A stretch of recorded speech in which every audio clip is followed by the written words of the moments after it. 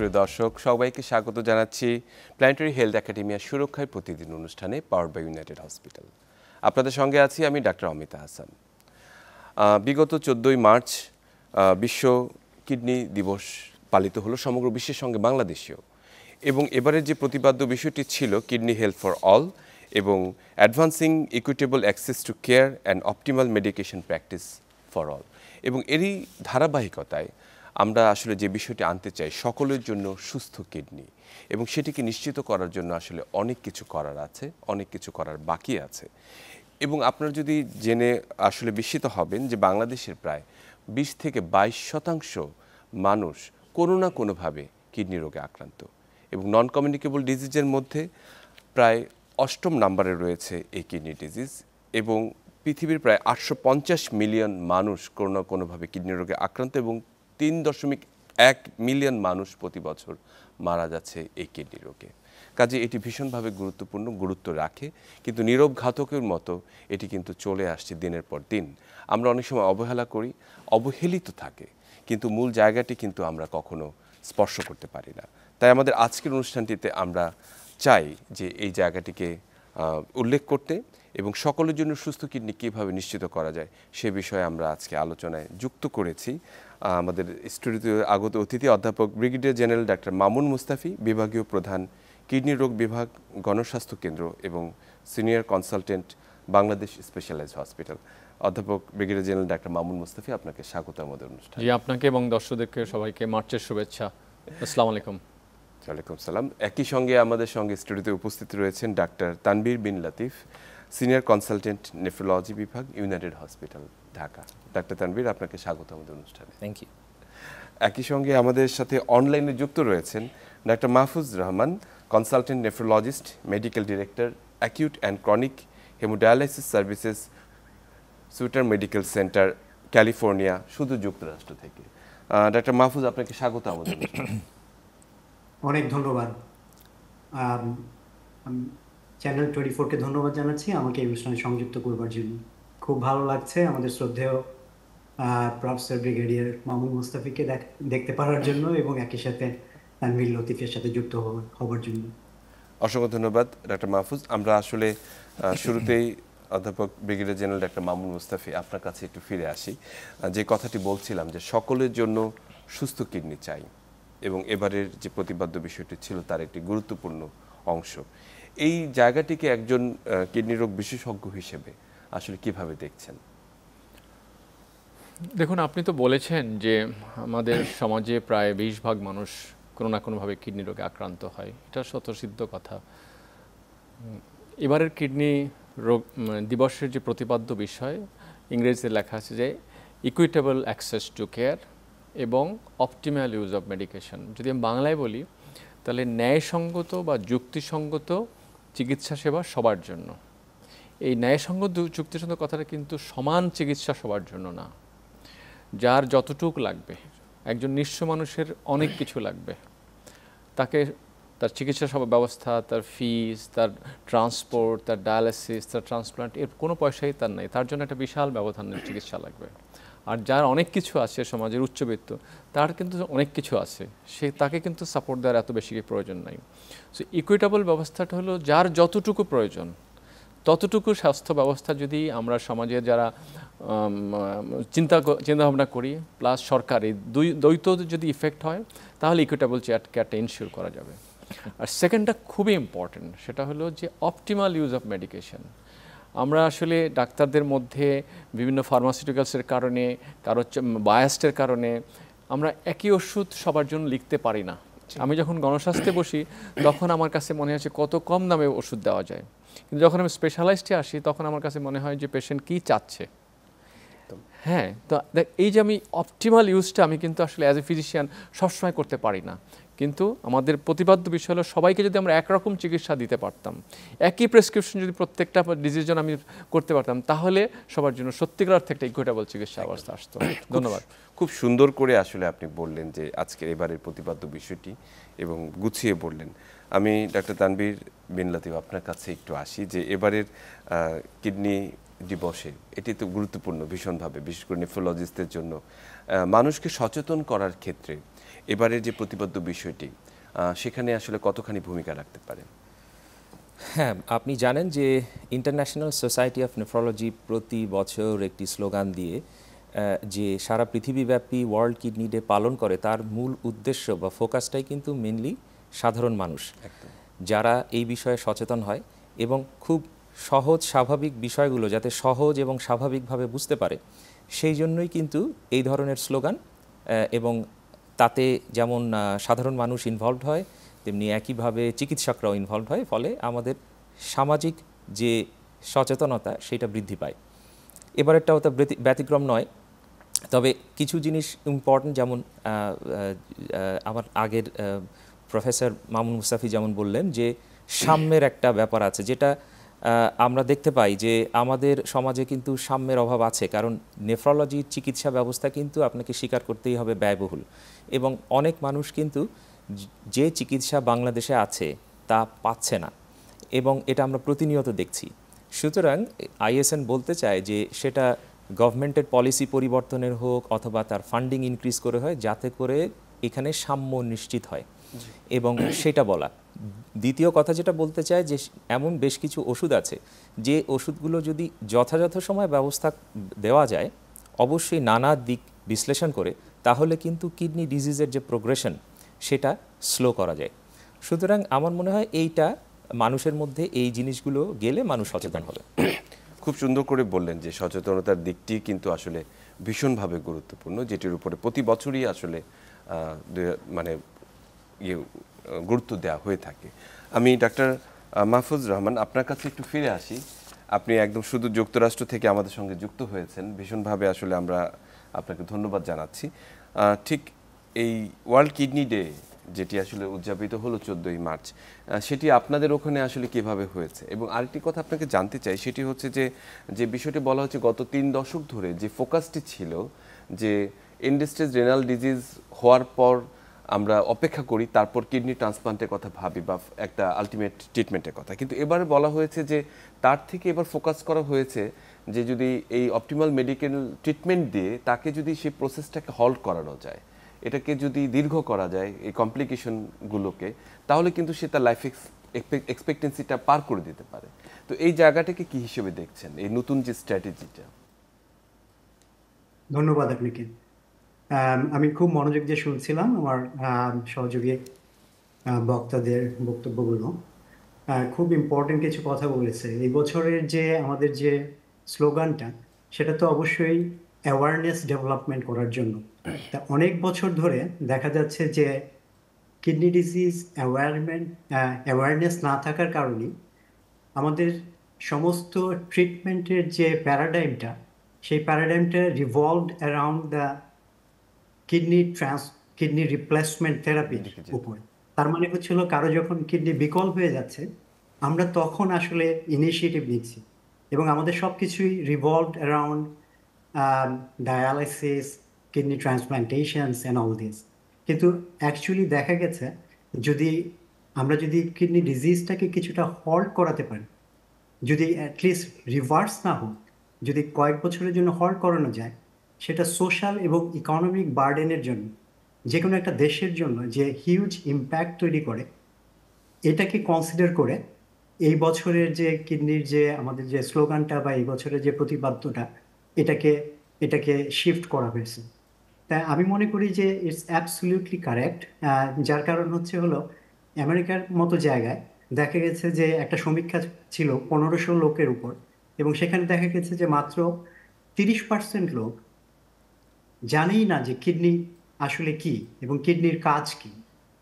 I can imagine যে অন্য দেশ বা সোশিও ইকোনমিক্যালি আন্ডার ডেভেলপ যে কান্ট্রিগুলো সেখানে এই সচেতনতা তো নিশ্চয়ই আরও অনেক কম। তা আমাদের এখানে আমেরিকাতে আমি যেটা মনে করি যে উই আর ভেরি লাকি এবং প্রিভিলেজ এস ওয়েল যে পলিসি লেভেলে অনেক পলিসি নেওয়া হয়েছে, যেটা নন কমিউনিকেবল ডিজিজের মধ্যে কিডনি ডিজিজ যে একটা প্রিভেইলিং ডিজিজ এটাকে কগনিজেন্সের মধ্যে নেওয়া হয়েছে। এবং সেই অনুযায়ী আমাদের হেলথ কেয়ার ডেলিভারি যে সিস্টেমটা যেখান থেকে হেলথ কেয়ার ডেলিভারি হয়, যেখানে এক্সিকিউশনস হয়, যেখানে যারা ইনভলভ আছে, যত স্টেক হোল্ডার ইনভলভ আছে, তাদের মধ্যে সচেতনতা তৈরি করা হয়েছে প্রথম। আমাদের এখানে অ্যাডিকুয়েটলি স্ট্যাফ করার চেষ্টা করা হচ্ছে যে যারা কিডনি ডিজিজ টেক কেয়ার করবে, শুধু ডাক্তার না, যারা হেলথ কেয়ার অ্যালাইড ফোর্স আছে তাদের ডেভেলপমেন্ট করার জন্য চেষ্টা করা হচ্ছে। তা তিন নাম্বার হচ্ছে হলো যে অফকোর্স জনসচেতনতা বৃদ্ধি। সেটা শুধু জনসচেতনতা মানে পেশেন্ট সচেতনতা না। এটা যারা হেলথ কেয়ার ওয়ার্কার আছে তাদেরও কিন্তু জানতে হবে। যারা হেলথ কেয়ার এক্সিকিউটিভস আছে যারা অ্যাকচুয়ালি ডিসিশন বা পলিসি মেকার আছে তাদেরও কিন্তু এটাকে জানতে হবে। আরেকটা বড় ব্যাপার, আমি মনে করি যে securing the funds kidney disease treat করতে হলে তো আমাদের ফান্ড লাগবে। তা এটাকে এটাকে এই অ্যালোকেশনসটা যাতে অ্যাডিকুয়েট হয়। আমি জানি যে এটা খুব চ্যালেঞ্জিং বাংলাদেশের জন্য যেখানে হেলথ কেয়ারের পেছনে টোটাল বাজেটের খুবই অল্প পরিমাণ টাকা খরচ করা হয়। কিন্তু এটা আমাদের মনে রাখতে হবে যে এই ডিজিজটাকে যদি প্রিভেন্ট না করা যায় দুই হাজার চল্লিশের মধ্যে কিন্তু এই disease fifth number of I mean it it be be fifth leading cause of cause of twenty ফোরে in 2040. তাই এই এইগুলোকে সামনে রেখে শুধু ট্রান্সপ্লান্টেশন বা ডায়ালিসিসের উপর গুরুত্ব না এই ডিজিজ প্রিভেনশন করার জন্য নতুন নতুন ড্রাগস কীভাবে তৈরি করা যায় সেই সেগুলোর উপর এখন গুরুত্ব দেওয়া হচ্ছে এবং সচেতনতা বৃদ্ধির জন্য কাজ করা হচ্ছে। জি। অসংখ্য ধন্যবাদ, ডাক্তার মাহফুজ রহমান। আমরা খুব চমৎকার কিছু তথ্য আপনার কাছ থেকে পেলাম। অধ্যাপক doctor brigadier general doctor Mamun Mustafi, আপনার কাছে যে বিষয়টি নিয়ে আসলে কথা বলতে চাই, যে গণস্বাস্থ্য একটি সমাজভিত্তিক প্রতিষ্ঠান, সেখানে আপনি কাজ করছেন একজন বিভাগীয় প্রধান হিসেবে। একই সঙ্গে সিনিয়র কনসালটেন্ট হিসেবে রয়েছেন বাংলাদেশ স্পেশালিস্ট হসপিটাল। দুটি ভিন্ন প্রেক্ষাপটের জায়গা। একটির মধ্যে সবার জন্য সমাজভিত্তিক ব্যবস্থা আরেকটি আমরা বলব যে হয়তো উচ্চবিত্তের জন্যই সেই জায়গাটি খানিকটা। তো এই যে দুই জায়গাটিতে মধ্যে যে সমন্বয় মানে কোন জায়গাটিতে আপনার কাছে পার্থক্য মনে হয়? যে আসলে আমরা সবার জন্য সমাজভিত্তিক সেবাটি দেওয়ার ক্ষেত্রে কি কি চ্যালেঞ্জ আসলে নিতে হচ্ছে বা কীভাবে সেটাকে করা যায় এবং সেক্ষেত্রে স্বাস্থ্য বিমার আসলে কোনো ভূমিকা রয়েছে কিনা? ধন্যবাদ অমিত। আসলে গণস্বাস্থ্যের ব্যবস্থাপনা আমরা অনেকেই হয়তো জানি না। একটা unique system doctor Zafrullah Chowdhury তৈরি করে গেছেন। এখানে সমাজকে বিভিন্ন, তার অর্থনৈতিক অবস্থা বুঝে এক একজন মানুষের অর্থনৈতিক অবস্থা অনুযায়ী তার একটা বিমা পলিসি করা আছে। এক নম্বর বই থেকে পাঁচ নম্বর বই মানে অ্যাকর্ডিং টু তার তার সোশ্যাল অর্থনৈতিক অবস্থা বুঝে। যে একদম নিঃস্ব, যার কিছুই নাই, সে হলো এক নম্বর। আর যার ঢাকা শহরে একটা বাড়ি আছে, তার হলো পাঁচ নম্বর বই। এদের, এই বই অনুযায়ী doctors consultation fee laboratory fee dialysis fee সব বই অনুযায়ী। যেমন যার এক নম্বর বই, তার সমস্ত চিকিৎসা ব্যবস্থা ফ্রি ডায়ালিসিস সহ। যার তিন নম্বর বই তার ডায়ালিসিস পেমেন্ট হলো আটশো টাকা।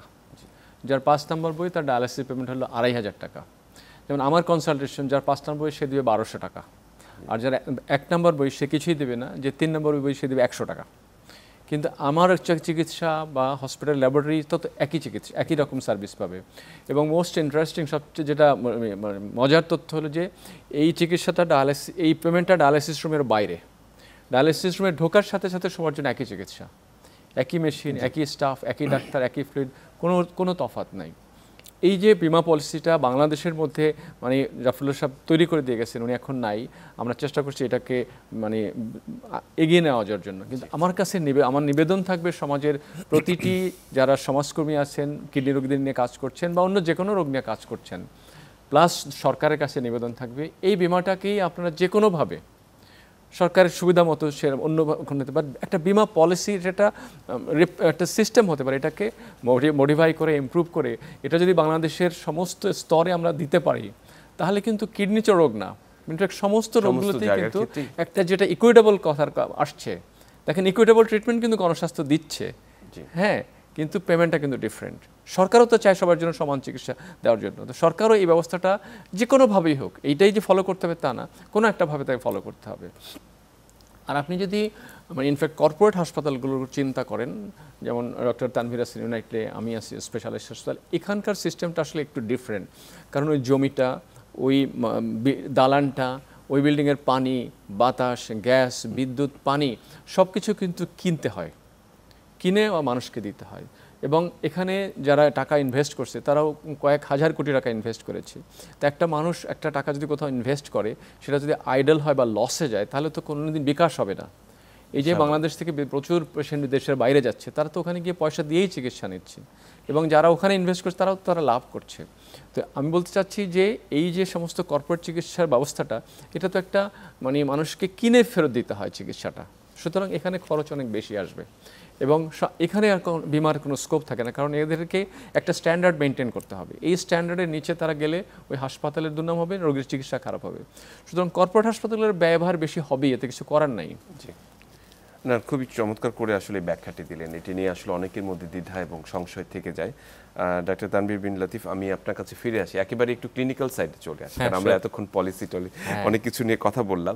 আসলে। মূলত কিডনির যে কমন যে রোগগুলো আপনারা পেয়ে থাকেন যার কারণে দীর্ঘমেয়াদী কিডনি রোগ হতে পারে সেই কারণগুলো কি কি এবং অন্যান্য যে রোগগুলো রয়েছে বিশেষ করে আমরা সম্প্রতি সময়ে যে দেখেছি ডায়াবেটিস থেকে কিডনি রোগের আক্রান্ত সংখ্যা অনেক বেড়ে গেছে উচ্চ রক্ত রক্তচাপ থেকে এবং অন্যান্য কারণে সেই জায়গাগুলোকে আসলে একটু যদি আপনি বলতে হ্যাঁ এটা আমাদের প্রতিনিয়ত আমরা যে রোগী দেখি প্র্যাকটিস করি তার মধ্যে এই সমস্যাগুলোই প্রধান। এখন আপনি যেমন বললেন যে কিডনি বা ক্রনিক কিডনি ডিজিজ হওয়ার প্রধান যে কারণগুলো আছে তার মধ্যে আছে এক নম্বর diabetes high blood pressure glomerulonephritis এবং আদার্স তার মধ্যে কনজেনিটাল ডিজিজ জন্মগত কিছু অসুখ আছে। কিন্তু এখানে কিন্তু মানুষের ওই যে বললাম অ্যাওয়ারনেসের একটা ব্যাপার আছে। আমি আমার প্র্যাকটিসে এটা আমার নিজস্ব অ্যাসেসমেন্ট সেটা হলো মানুষ যিনি ডায়াবেটিক তিনি কিডনি ডিজিজ এবং ডায়াবেটিসকে আলাদা করে দেখেন। হ্যাঁ মনে করেন যে কিডনি ডিজিজ হলো এক অসুখ ডায়াবেটিস হলো আরেকটা অসুখ। কিন্তু এরা যে একই রোগের অংশ মানুষ যদি প্রথম থেকে এটা বুঝতে পারে যে হ্যাঁ ডায়াবেটিস কন্ট্রোল করাই কিডনি রোগের চিকিৎসা। ইনফ্যাক্ট এরপরে কিডনি ডিজিজ যদি প্রোগ্রেস করে আরও অগ্রসর হয় নিশ্চয়ই কিছু ওষুধপত্র আছে কিন্তু মূল চিকিৎসা কিন্তু ওটাই থেকে যায়। এইটা যদি মানুষ টের পায় তাহলে কিন্তু বুঝতে পারবে যে ও তাহলে আমার কি করতে হবে? একই কথা ব্লাড প্রেশার হাইপার টেনশন এগুলোর ক্ষেত্রে সত্যি। যে হ্যাঁ প্রেশার কন্ট্রোল আমরা বলি যে আপনার সিস্টলিক ডায়াস্টলিক ব্লাড প্রেশার এরকম ওয়ান টোয়েন্টি এইটটি এরকম রাখা উচিত। বেশ কিছু ওষুধপত্র দিয়ে এটাতেই আপনার থাকতে হবে। এই জিনিসগুলো যদি মানুষ ধরে রাখতে পারে তাহলে কিন্তু ন্যাচারালি কিডনি ডিজিজের যে বার্ডেন আছে যে আপনি ডায়ালাইসিস ট্রান্সপ্লান্টেশনের জন্য যে নানা রকমের অর্থনৈতিক ব্যবস্থাপনা সেইখানে যেতে হবে না। তাহলে এটা একটা। আরেকটা হলো হেলথ স্ক্রিনিংয়ের কথা আমরা বলি যেমন বেশ কিছু চাকরিতে যোগদান করার ক্ষেত্রে অথবা স্কুলে আমরা বেশ কিছু হেলথ স্ক্রিনিং করি। সেখান থেকে আপনারা জানেন যে ক্রনিক কিডনি ডিজিজ অনেক ক্ষেত্রে কোনো প্রাথমিকভাবে কোনো উপসর্গ নাই। এরকম যদি আপনি স্ক্রিন করেন সেই স্ক্রিনের মধ্যে আপনি যদি সাধারণ ইউরিন পরীক্ষাও করেন তার মধ্যে কিন্তু অনেক কিছু বের হয়ে আসে। যেমন রক্তকণিকা আছে কিনা বা প্রোটিন আছে কিনা একটা কিছু সংখ্যক মানুষকে কিন্তু আইডেন্টিফাই করতে পারি আমরা এবং তাদেরকে আমরা কিডনি রোগ বিশেষজ্ঞের কাছে পাঠাতে পারি। তো এগুলো আমার কাছে মনে হয় খুব খুবই খুবই গুরুত্বপূর্ণ কথা বলেছেন। আমি ডাক্তার মাহফুজ রহমান আপনার কাছে ফিরে আসি একটু। আমরা গুরুত্বপূর্ণ কথা শুনছিলাম আমাদের অতিথির কাছ থেকে। একই সঙ্গে যে আপনার প্রেক্ষাপটে যেখানে আপনি কাজ করছেন একজন মেডিকেল ডিরেক্টর হিসেবে অ্যাকিউট অ্যান্ড ক্রনিক হেমোডায়ালাইসিস সার্ভিসে আমাদের অর্থনৈতিক বিষয়টি কিন্তু ভীষণভাবে আমাদেরকে ভাবায় যে এখানে ডায়ালাইসিস মানেই হচ্ছে তার জন্য একটা অর্থনৈতিক বার্ডেন একটা পরিবার পুরোপুরি চিন্তার মধ্যে পড়ে যায় তারা জমি বিক্রি করতে বাধ্য হয় অনেকে বাড়িঘর বিক্রি করতে বাধ্য হয়। যে কিডনি চিকিৎসা। বলা যায় যে অনেক সময় কিডনি চিকিৎসা শুধুমাত্র তাদেরকে শারীরিকভাবে না, অর্থনৈতিকভাবেও তাদেরকে পঙ্গু করে দেয়। ঠিক এর বিপরীত চিত্রটি দেখতে পাই আপনার ওখানে। ওখানে দেখা যাচ্ছে যে এই ডায়ালাইসিস বা এই জায়গাগুলোতে কিন্তু মানুষকে অত বার্ডেন নিতে হয় না, যখন কেউ আক্রান্ত হয়। এর পেছনে কারণ কি? সে সেটি কি হেলথ পলিসি, স্বাস্থ্য বীমা, নাকি এর পিছনে এর প্রতিরোধ বা আপনারা যেভাবে আগে থেকে প্রতিরোধ করে আসছেন সেটিও খানিকটা দায়ী যে তাদেরকে প্রতি প্রিভেনশনের দিকে এগিয়ে নেওয়ার জন্য। ডক্টর অমিত আম, যদি আপনার প্রশ্নটা বুঝে থাকি আমার কিছুটা কানেকশনের প্রবলেম হচ্ছিল কিছুটা ভেঙে ভেঙে যাচ্ছিল কথা। আপনি আমি যদি রিফ্রেশ করি আপনি হয়তো জানতে চাচ্ছিলেন যে আমাদের ওখানে আমাদের এখানে আর কি কিডনি রোগ প্রতিরোধের জন্য কি কাজ করা হচ্ছে? যেটাকে যেটা আমাদের প্রিভেনশন মানে আর কি আমাদের ডায়ালিসিস বার্ডেনটা কমাচ্ছে। এটা একটা। সেটা কি? আরেকটা হচ্ছে যে ডায়ালিসিস যদি কারোর প্রয়োজনও হয় সেক্ষেত্রে তাকে ফিনান্সিয়াল বার্ডেনটা কতটুকু নিতে হচ্ছে? ও আচ্ছা আচ্ছা। আই আই আন্ডারস্ট্যান্ড আসলে এটা একটা ইউনিক ব্যাপার। তা আমি আম- গ্ল্যাড যে আপনি এই ব্যাপারটা তুলে এনেছেন। It's very related to the policy হ্যাঁ। আমেরিকাতে বিয়াল্লিশ বিলিয়ন ডলার প্রতি বছর খরচ হয়। যেটা অনেক দেশের পুরো বাজেটের চেয়ে বেশি। কিডনি রোগীর, যাদের কিডনি বিকল হয়ে গেছে, যারা এন্ড স্টেজ কিডনি ডিজিজ বলি যাদেরকে, তাদের পেছনে গভর্নমেন্টের যে হেলথ কেয়ার সিস্টেমের সেভেন পার্সেন্ট টাকা এদের পেছনে ড্রেন করে। Government actually took the charge government এই দায়িত্ব নিয়ে নিয়েছে। হ্যাঁ কারণ এটা আগেই বোঝা গেছে যে একজন যার ডায়ালাইসিস লাগবে এটা এতই একটা এক্সপেন্সিভ ট্রিটমেন্ট এটা কখনো আউট অফ পকেট থেকে আসার সম্ভাবনা নাই। আসলে আমেরিকাতে আউট অফ পকেট ট্রিটমেন্ট খুব কম লোকই করে। আইদার সরকারের যে ইন্স্যুরেন্স সিস্টেম আছে গভর্নমেন্ট যে ইন্স্যুরেন্স সিস্টেম আছে সেটার দায়িত্ব নেয় অথবা হচ্ছে হলো যে কমার্শিয়াল যে ইন্স্যুরেন্স সিস্টেম আছে সে তারা পেয়ার হিসেবে কাজ করে। But particularly for dialysis patient যাদের এন্ড স্টেজ কিডনি ডিজিজ হয়েছে তাদের দায়িত্বটা সরকার যেটাকে আমরা মেডিকেয়ার সিস্টেম বলি। এই সরকারি ইন্স্যুরেন্স এদের দায়িত্ব নিয়ে নিয়েছে। কারণ এই বার্ডেন কারও একার পক্ষে করা সম্ভব না। এটাকে বিয়ার করা সম্ভব না। তা আমি মনে করি এটা একটা আমাদের যে দেশ বা এই আমাদের এই কন্টিনেন্টের যে সমস্ত দেশ আছে তাদের সরকারের পক্ষে বা তাদের পক্ষে একা হয়তো এটাকে বিয়ার করা সম্ভব না। কিন্তু পাবলিক বা গভর্নমেন্ট কোনো একটা পার্টনারশিপ বা এই ধরনের আমি ডক্টর মামুন মুস্তাফির কথা শুনছিলাম খুব মনোযোগ দিয়ে এবং ওনাদের যে সিস্টেম যে টিয়ার সিস্টেমে যে কাজ করা, এই কাজ করা যেখানে যার যেটুকু আছে তারা সেইভাবে পার্টিসিপেট করতে পারে এবং অন্যান্য যারা নন গভর্নমেন্টাল অর্গানাইজেশনস আছে তারা যদি এগিয়ে আসে এবং ফান্ড যদি সিকিউর করা যায় তাহলে হয়তো এটাকে চিকিৎসা করা যাবে। But at the same time আমি যেটা খুব ইম্পর্টেন্ট মনে করি আমাদের দেশের জন্য এগুলো কোনোটাই হয়তো সাস্টেইনেবল হবে না আনলেস আমরা আমাদের এই এন্ড স্টেজ কিডনি ডিজিজকে যদি আমরা ডিলে না করাতে পারি। আমরা যদি প্রিভেনশনের পথে যদি না যাই এই সিস্টেমটাকে যতটা আমরা আমি আগেই বলেছি যদি দুই থেকে তিন বছর যদি ডিলে করানো যায় সেটাও সোশিও ইকোনমিক বার্ডেন অনেকখানি কম। আমাদের ওই দিকেই লক্ষ্য দেওয়া উচিত। খুবই চমৎকার করে বললেন ডাক্তার মাহফুজ দুটি প্রেক্ষাপট মিলিয়ে আপনাকে অসংখ্য ধন্যবাদ, brigadier general doctor Mamun Mustafi sir আপনার কাছে। বর্তমানে রমজান চলছে, রোজার মাস চলছে, সিয়াম সাধনায় সবাই মগ্ন। এবং এই সময়ে যারা আসলে ক্রনিক কিডনি ডিজিজে আক্রান্ত বা কিডনি রোগে আক্রান্ত, তাদেরও আসলে অনেকেই রোজার সিয়াম সাধনা করতে ইচ্ছা প্রকাশ করেন, অনেকে রাখেন। এবং অনেকে সাধারণ মানুষও যারা আসলে কিডনির সমস্যা নেই, তারাও কিন্তু পানির যে তারতম্যটি রয়েছে, বিশেষ করে সারাদিন ফাস্টিং থাকার পর, এই রমজান মাসে আসলে কিডনি রোগীদের কি কি সতর্কতা অবলম্বন করা দরকার? ধন্যবাদ ডক্টর অমিত, একদম মানে প্রপার একটা প্রশ্ন করার জন্য। ইনফ্যাক্ট সুরা বাকারে আল্লাহ তালা পরিষ্কারভাবে বলেছেন যে যারা অসুস্থ রোজা রাখতে পারবেন না, তারা রোজার বদলে ফিদিয়া দিয়ে দেবেন। আর যদি সুস্থ হয়ে যান, তাহলে পরের কোনো এক সময় রোজা রাখবেন। কিডনি রোগীর যে সমস্ত কারণগুলো হয়, এর কোনোটাই আসলে ঠিক হয়ে যাওয়ার মতো না। ডায়াবেটিস হোক, প্রেশার হোক, নেফ্রাইটিস হোক, কিংবা অবস্ট্রাকশন হোক, কিংবা জন্মগত ত্রুটি হোক, কোনোটাই ঠিক হয় না। সুতরাং বেসিক্যালি যে কনসেপ্টে আল্লাহ তালা একটা নাজির করছেন, সুস্থ না হলে এই মানুষ রোজা রাখবেন না।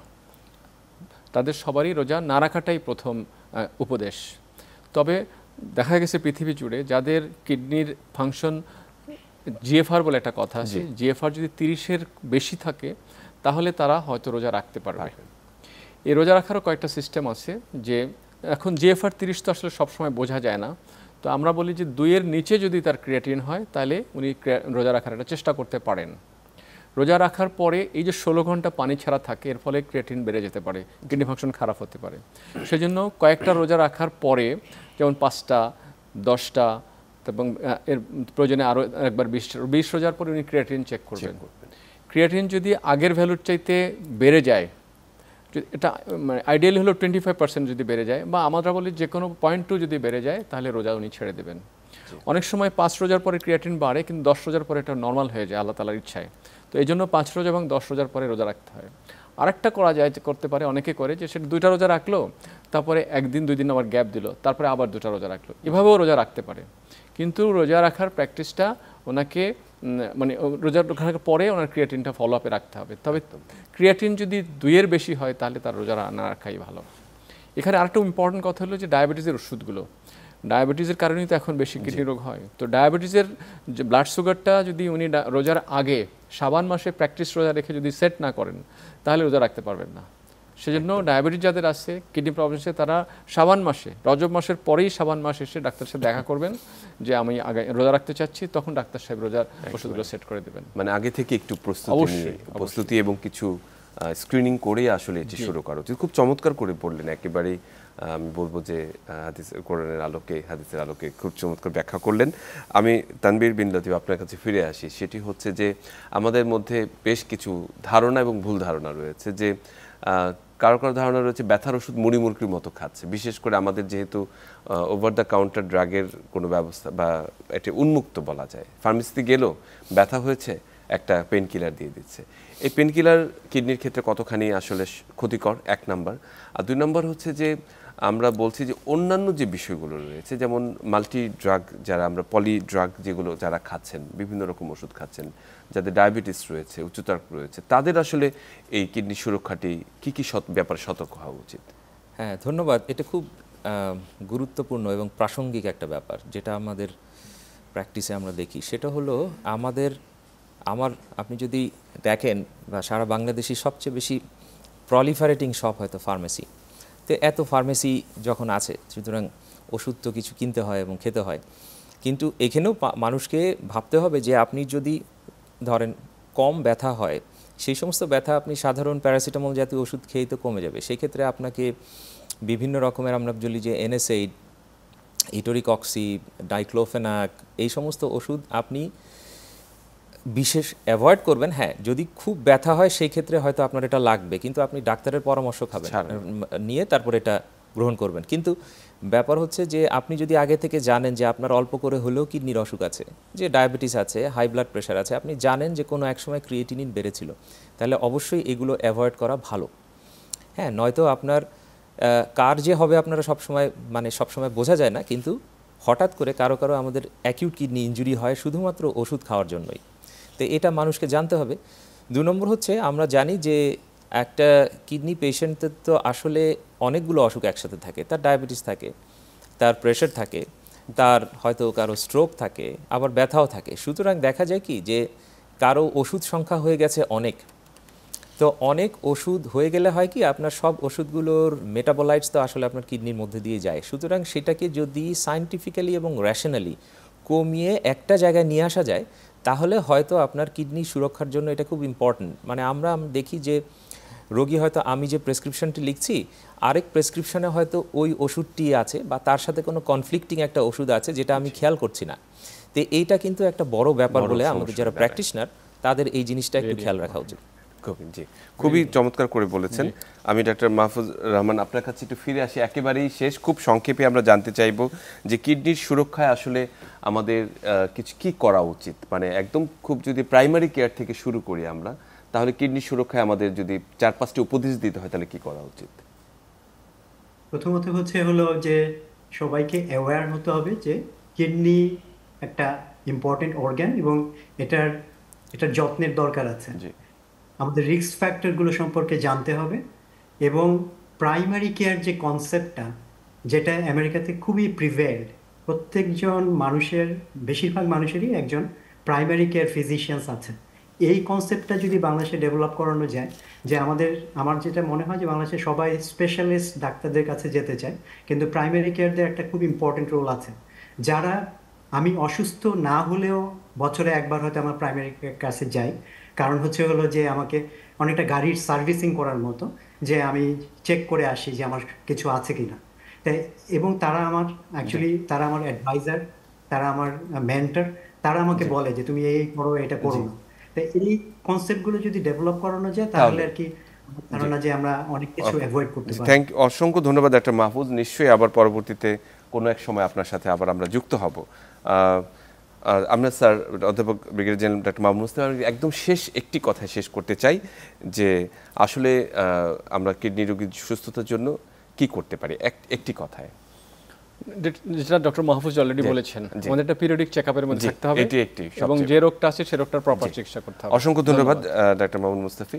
আমরা আসলে একেবারে শেষ পর্যায়ে সুপ্রিয় দর্শক আমরা আজকে আমাদের সকলের জন্য সুস্থ কিডনির নিশ্চয়তার জন্য যে আলোচনাগুলো প্রয়োজন যা করা প্রয়োজন এবং আসলে যেটা আমাদের করা উচিত সবগুলো বিষয় নিয়ে আমরা কথা বলেছি। আমরা চাই সবাই কিডনি সুস্থ থাকুক সবাই সুস্থভাবে ভালো থাকুক এবং ভালোভাবে নিজের যত্ন নিক। সবাই ভালো থাকবেন। সুস্থ থাকবেন।